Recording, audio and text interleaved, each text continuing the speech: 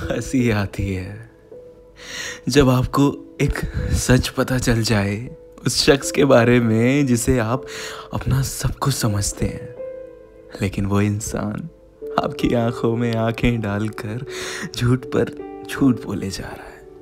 ज़्यादा दिल टूटता है, थोड़ी सी स्माइल आ जाती है, नम आँखें और मन में एक ही सवाल आता है कि आखिर क्यों?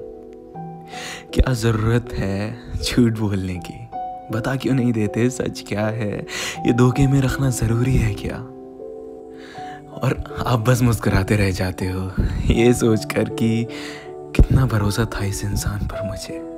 न जाने क्यों, लोग क्लैरिटी नहीं रख सकते। ईमानदारी से कोई रिश्ता क्यों नहीं निभा सकते? आखिर क्या ज़रूरत पड़ जाती है एक वक्त के बाद अपनी नीयत खराब करने की?